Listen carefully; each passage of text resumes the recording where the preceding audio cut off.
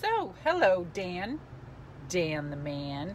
So, you used to watch me all the way back from WCW. Stalker.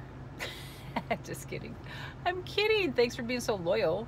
And WWE. So, that would be a Alundra Blaze. I cannot tell you, I cannot thank you enough. All of my fans.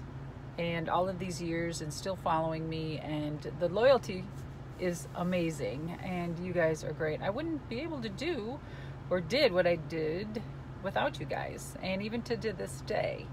Um, you guys keep me pumping, um, doing new stuff, uh, reinventing myself and you make me, you just, you just make it all worthwhile. And um, you love Mach, you love Macho Man, you love my feud with them when I was with uh, uh, let's see, Gorgeous George, Molly, um, Miss Madness, and of course you liked the match with Tori and Shane Douglas. I'm thinking the scaffold match, which was freaking insane and freaking fucking stupid. Sherry was, uh, Sherry, oh my god, Tori was scared out of her freaking mind and I, you know, love her to death. She's absolutely gorgeous, by the way. If you haven't checked out her page, go check it out.